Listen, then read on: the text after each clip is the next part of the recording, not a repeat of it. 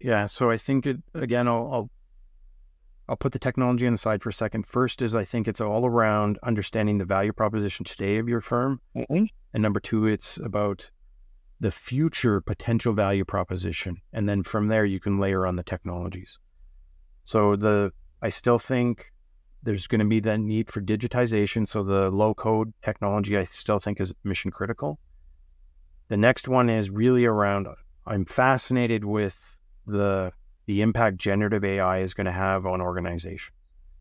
The thing that it, I haven't seen yet is how are, is everybody going to start to derive value?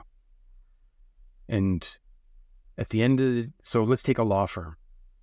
So a really good lawyer is somebody who knows case law. So that's the all the cases in in the past and the outcomes. In that particular case, an AI, generative AI, is really good at understanding all of that case law and then having the ability for people to interact with it. So if you're a lawyer, how do you derive new value in that type of scenario? It's really around the strategy and still being able to connect all those dots.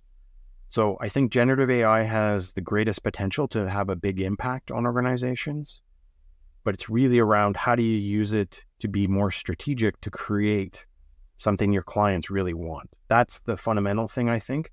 I think there's a lot of danger for firms though that just jump into AI without having a plan.